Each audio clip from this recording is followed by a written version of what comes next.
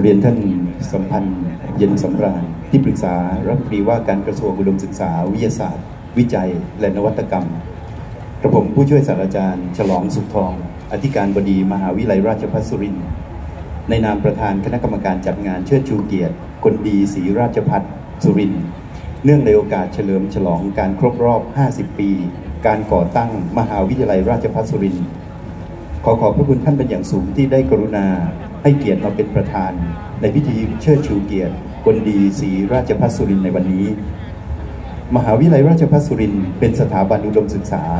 เพื่อการพัฒนาท้องถิ่นที่มุ่งเน้นจัดการศึกษา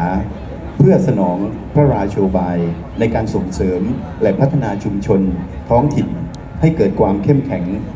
ผลิตและพัฒนาครู บุคลากรทางการศึกษาที่หลากหลายสาขา เพื่อเป็นกำลังสำคัญในการพัฒนาประเทศชาติ ให้มีความเจริญรุ่งเรือง นับตั้งแต่เริ่มต้นต้นก่อตั้งวิไลครู ในปีพุทธศักราช 2516 จนได้รับการยกฐานะขึ้นเป็นสถาบันราชภัฏสุรินทร์และกระทั่งปัจจุบันได้รับยักการยกฐานะ เป็นมหาวิทยาลัยราชภัฏสุรินทร์โดยลำดับ การจัดพิธีเชิดชูเกียรติคนดีศรีราชภัฏสุรินทร์ในวันนี้ มีวัตถุประสงค์เพื่อเป็นการยกย่องเชิดชูเกียรติ ผู้ชนียบุคคล ที่มีคุณูปการต่อการสร้างชื่อเสียงผลักดันให้มหาวิทยาลัยราชภัฏสุรินทร์ดำเนินการตามวัตถุประสงค์ ตอบสนองต่อพันธกิจในการพัฒนาชุมชนท้องถิ่น สามารถผลิตบัณฑิตออกไปรับใช้สังคม จนประสบผลสำเร็จอย่างเป็นรูปธรรมและยั่งยืน เป็นที่รู้จักของประชาคมทั้งในระดับภูมิภาค ระดับชาติ และระดับนานาชาติ อีกทั้งยังเป็นบุคคลตัวอย่างในการครองตน อย่างมีคุณธรรม มีจริยธรรม เป็นแบบอย่างที่ดีแก่นุชนรุ่นหลังสืบมา การจัดงานพิธีเชิดชูเกียรติคนดีศรีราชภัฏสุรินในวันนี้ ได้รับความร่วมมือจากผู้บริหาร คณาจารย์ บุคลากร นักศึกษา และหน่วยงานทั้งภายนอกภายในทั้งภาครัฐและก็เอกชน ที่สมควรได้รับการขอบคุณเป็นอย่างยิ่ง บัดนนี้ได้เวลาอันสมควรแล้ว กระผมขอกราบเรียนเชิญท่านประธาน ได้กล่าวเปิดงาน เชิดชูเกียรติคนดีศรีราชภัฏสุรินณบัดนี้ก็กราบเรียนเชิญครับ ครับ ก็กราบนมัสการพระเดชพระคุณพระพรหมวชิระโมลีนะครับท่านที่ปรึกษาคณะเจ้าคณะภาค 11 นะครับ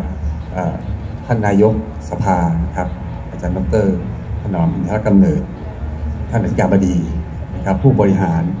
และโดยเฉพาะอย่างยิ่งผู้สูงอาวุธที่ได้เข้ารับรางวัลนะครับ เชิดชูในวันนี้นะครับ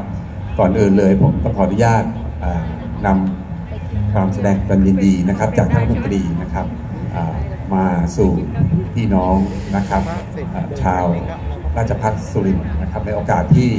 ราชพัฒสุรินทร์นั้นอ่าครบ 50 ปีของการก่อตั้งนะครับ และท่านรัฐมนตรีท่านก็ฝากแสดงความยินดีกับท่านผู้สูงอาวุธที่ได้รับอ่าโล่เชิดชูเกียรติในครั้งนี้นะครับ ในการที่สถาบันราชพัฒนะครับได้มีโอกาส นะครับที่จะ